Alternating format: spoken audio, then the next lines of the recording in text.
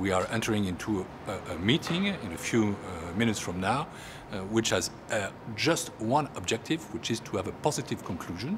And this positive conclusion is about Greece in the Eurozone, uh, taking into account the uh, program that the Greek voters chose, but also taking into account the, the, full respect of the commitments from Greece to its partners. And that's what we're going to discuss about.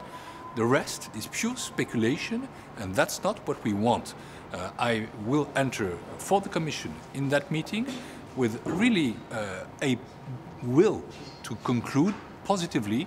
Uh, and I think that if we have the uh, will to conclude, uh, we know what the terms of reference are. We know where now, because there have been told technical works, where are the differences, where they lie. I think we have got the capacity to, to, to, to, to conclude positively.